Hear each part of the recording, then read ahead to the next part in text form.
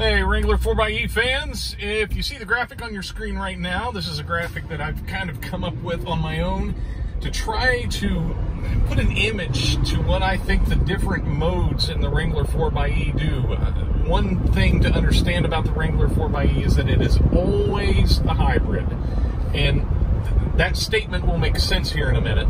As you look at the power flow screen on the Wrangler 4xE, right now you can see I'm in electric mode. It is only using the electric motor. I'm accelerating. You can see the number goes up. I let off the pedal and I'm in max regen mode. You can see I go to a negative number indicating that it is recharging the battery just a little bit. Now, one thing about max regen mode, it's not uh, like a magic thing. It's not going to directly put enough energy back in that you can run off. It's, you know, there's no such thing as perpetual motion. So, you know, you can see about the max it gets right there is about 27, 20, whatever, and I can just accelerate a little bit and get way over that. So that's, it's not a magic thing that's going to just kind of create a perpetual motion kind of thing, but it does give you energy back when you're decelerating. But that's a sidebar. So I'm going to put the vehicle in hybrid mode when this light turns green, I'm going to accelerate away from the stop and you will see the engine, the yellow number there, the engine will begin to give us power and the battery will also give us power. So I'm going to kind of accelerate easy. You can see it stays in electric mode, but as soon as I make a little more of a demand from the vehicle, it goes ahead and kicks on the engine and we're getting power from both, as you can see there.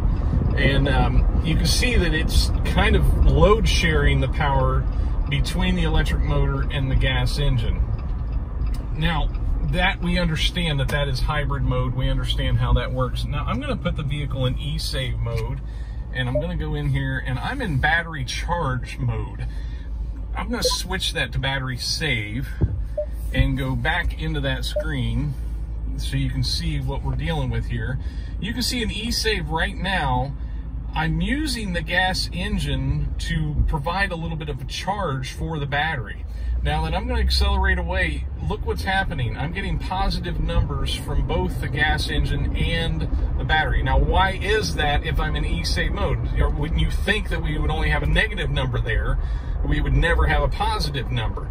But if we go back to our graphic and see the vehicle is always a hybrid. There's been some miscommunication about what e-save mode, some people have referred to it as a gas only mode, and that is not the case because the vehicle is never a gas only vehicle, at least not the way it's designed to be. I would imagine in some extreme circumstances, maybe, I don't know, but it is always a hybrid. So let's go back in here to the e-save screen and let's put it in battery charge. This is the least most, this is the least efficient way to operate this vehicle when you're in eSave plus charge, look at that. You're still getting positive numbers from both the gas and electric engine. Now, once we've taken off and the vehicle says, okay, I don't need you to really take off anymore, now I'm going to charge that battery just a little bit.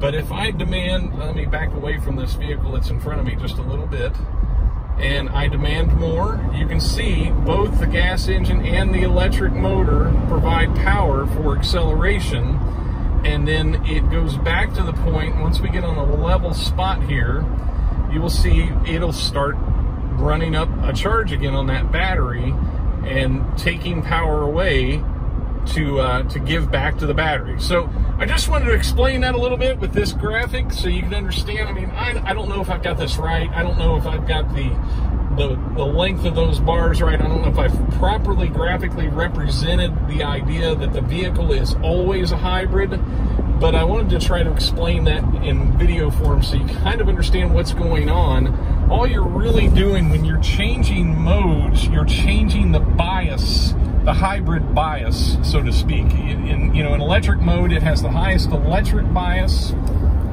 and but it is still hybrid. You know, even in electric mode, we can watch this engine. We'll shut off here in a second. But if we pound on that gas pedal, we will still get a, you know, electric, a gas motor assist. And if we put it in hybrid mode, that engine, you know, we're still going to shut off, but the engine's going to be more likely to kick on than it is in electric only mode. And in e-save mode, of course, the electric motor just, I mean, the gas engine just runs all the time in parallel with the electric motor. The Wrangler 4xE, if you're not, if you don't understand hybrid technology, the Wrangler 4xE is a parallel hybrid, meaning that both the gas engine and the electric motor have access to the drivetrain. In a series hybrid, kind of like the uh, the first generation Chevy Volts, the electric motor, and then the BMW i3 is another good example of a series hybrid. I believe the i8, the BMW i8 is also, I don't think that engine is connected to the drivetrain. But in those vehicles, the gas engine isn't connected to the drivetrain in any way, shape, or form it is just there to charge the batteries. That's a series hybrid, and the Wrangler 4xE, since we have the electric motor in the transmission and a clutch that then connects it to the gas engine, that creates a parallel hybrid environment. So hopefully that answers any questions you might have. And uh, if that helped you, let me know in the comments down below, or if you have anything to add to that. If I worded anything right, wrong, because I'm driving, I'm trying to pay more attention to the road than I am to uh, what's on my camera. Um, please feel free to include that in the comments down below. Thanks for watching.